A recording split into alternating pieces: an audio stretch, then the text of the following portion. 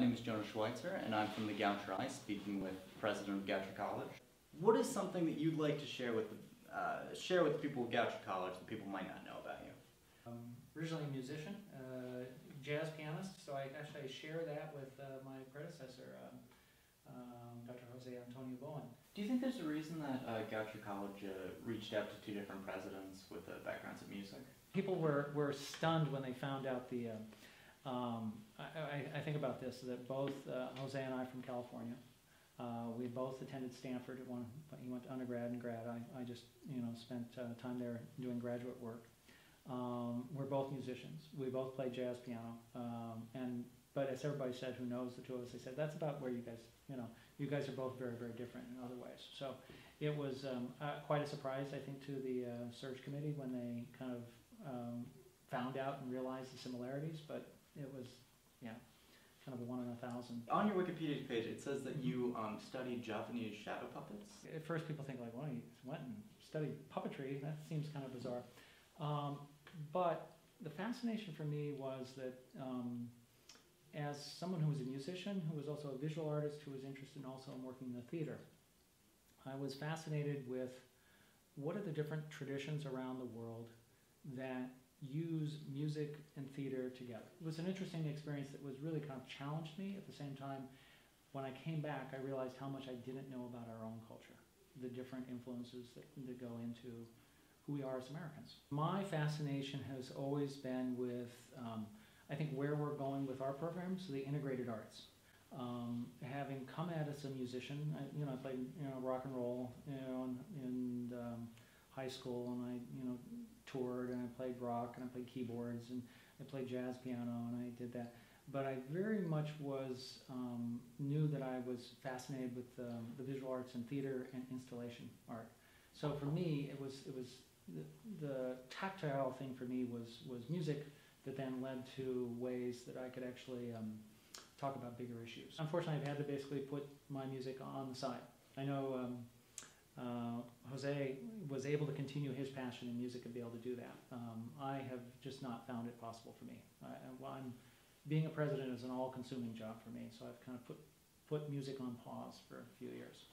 What, what about Goucher specifically most intrigued you? Um, its long history in two areas: social justice and uh, international education. So, um, in your letter to the Goucher community in August, uh, Mhm. you listed Mhm. some top priorities. Uh, Mhm. You list those as enrollment, retention, and financial sustainability. Mm-hmm.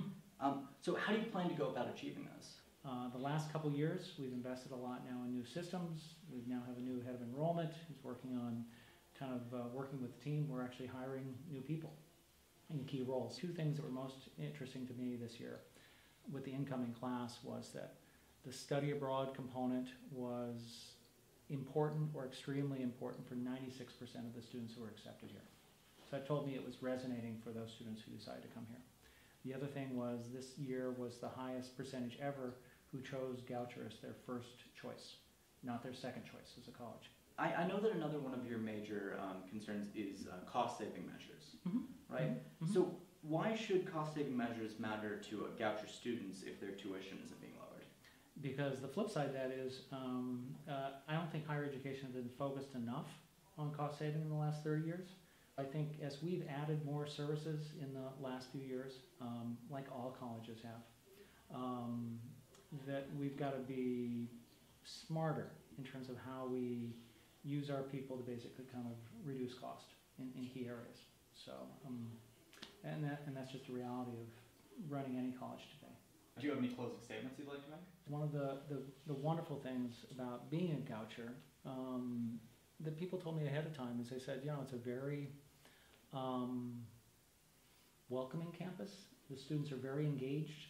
Um, uh, several uh, college presidents joked me with me they, ahead of time. They said, "Oh, "We know of Goucher students. Goucher students are very engaged. You're going to be in touch with you know students all. It's not you know people. It's not a commuter campus. People don't just come here, go to classes, leave. There's no engagement." I found both of those things to be incredibly uh, true. Uh, and um, my wife, who we're just now completing the process of moving, of selling our previous house up in uh, New Hampshire, just north of Boston, um, moving down here. So she's going to be moving down here in the next month, and we're both just incredibly happy to be down here, and for her to also be engaged in college life here. Uh, so she's pretty excited about it as well. So we're really looking forward to that and being here for a good long time.